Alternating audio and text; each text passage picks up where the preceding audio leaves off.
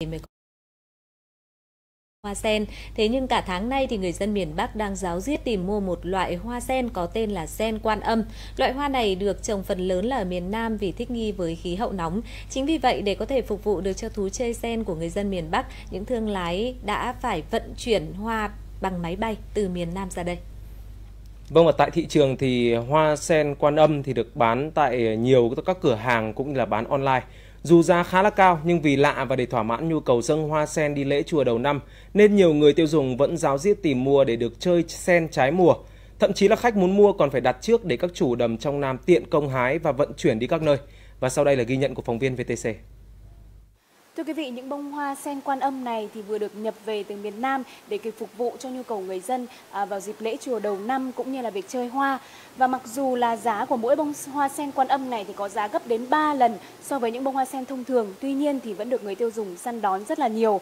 Và à, những ngày này thì những người à, bán hoa đang phải rất là gấp rút trong việc là nhập hoa về để kịp chuyển đến cho những người tiêu dùng cả nước. Ngay từ 8 giờ sáng, chị Nga đã khẩn trương xếp hơn 400 bông hoa sen vừa được trở về từ sân bay để vận chuyển cho khách ở các nơi. Khác với sen miền Bắc hay còn gọi là sen ta, sen quan âm có rất nhiều cánh, ít dụng và chơi được lâu hơn nên rất được người dân ưa chuộng và săn đón. À, cái nhu cầu sử dụng sen này đầu năm rất là nhiều nên là cũng nhiều nhiều khách tỉnh gọi nên cũng ờ, không đủ bán.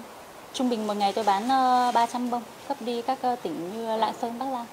Quảng Ninh.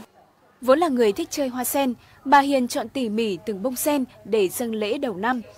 Với giá hoa khá cao là 130.000 đồng 10 bông và thêm 10.000 đồng nếu là hoa gấp cánh. Nhưng bà vẫn chọn những bông hoa gấp bởi theo bà, hoa gấp đem bày lễ trông sẽ sang hơn và giữ được độ bền hơn nếu hoa nở. Ngày mùng 1 rồi cho nên mà tôi mua về tôi thắp hương ở nhà. Với cả nếu mà thì tôi mua mang đi lễ tại vì hoa này là cũng đẹp với nó lạ chủ yếu là nó, ở trong miền Bắc thì nó không có cái hoa này nên tôi mua về cho cả nhà thưởng thức nó lạ lạ, mặc dù là cũng biết là, kiểu, đắt hơn gấp mấy lần nhưng mà tôi vẫn cứ mua, tôi vẫn cứ thích. Dù chỉ bán hàng online, nhưng chị Ly cũng rất đắt khách mua hoa sen quan âm những ngày này. Nếu như ngày thường, mỗi ngày chị bán được 200 đến 300 bông, thì những ngày giáp rằm, đầu tháng, đơn của chị lên đến hàng nghìn bông.